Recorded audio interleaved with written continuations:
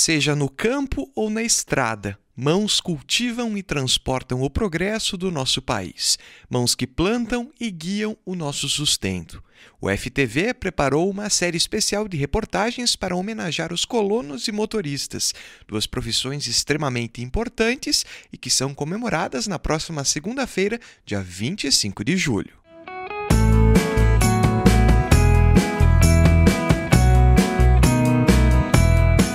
Vamos começar conhecendo um pouco da história do Sidney com a agricultura. Ele é morador do Travessão Bonito, em Nova Pádua, e produz mirtilo há 18 anos. O interesse pelo cultivo do produto surgiu ao assistir uma reportagem na televisão, quando a fruta exótica era ainda pouco conhecida no Brasil. No início vinha uma proposta tipo de uma fruta promissora, por causa que ia ter grande rentabilidade, né? Você falava, na época, você falava em 40, 50 reais ao quilo, né? Aí, tipo, nós fomos praticamente iludidos, né? Tipo, iludidos não, por causa que era o preço real da época, né? Só que aí nós plantamos, dali uns três anos, mais ou menos dois, três anos, nós começamos a ter uma produção praticamente boa, né?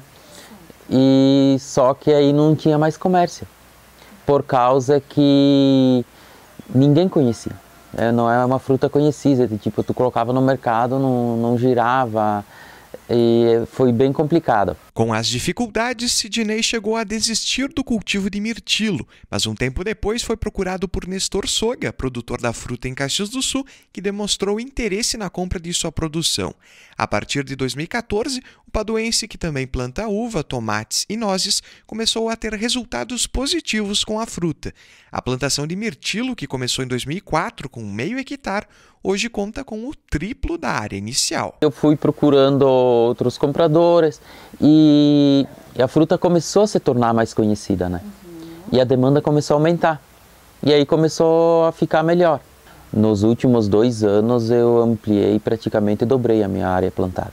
E agora tá, tá super bom, né? Tipo, da, da época até hoje o preço não subiu tanto, aquela coisa só que eu consegui aumentar a minha produção, minha área plantada, né? Uhum. E aí eu consegui aumentar a minha renda bem. A última safra eu colhi 4.800 quilos. Mas eu digo que para os próximos três anos, uhum. quando eu começar a produzir essa área nova que eu plantei, eu acho que eu vou chegar em torno de umas 10 toneladas, acho que eu chego. Sidney percebe que no decorrer dos anos as pessoas passaram a entender o verdadeiro valor da agricultura, mas ele lembra que os produtores não podem parar no tempo e precisam investir em inovação e tecnologia constantemente. Eu passei a ver a água como uma coisa necessária para a minha propriedade. E graças ao Mertilo, ainda em 2004 eu comecei a investir em irrigação, né? E hoje, graças a Deus, com esses últimos dois anos de estiagem, eu já tinha uma boa estrutura de, de irrigação, bombas, açudes, poços artesianos e eu, não, eu tenho praticamente toda a minha propriedade irrigada. Se não fosse o mertilo, eu não teria essa estrutura que eu tenho hoje. E o, e o colono ele tem que pensar nisso, que tipo não pode parar e tem que tem que sempre procurar essas coisas novas, por causa que é, é o que vai nos levar para frente. Fante Bebidas, vinhos, sucos e destilados. Tá na sua mão economizar. App Meu Andreaça, para toda a família. Olimóveis Urbanismo. Há 29 anos, construindo espaços para a sua vida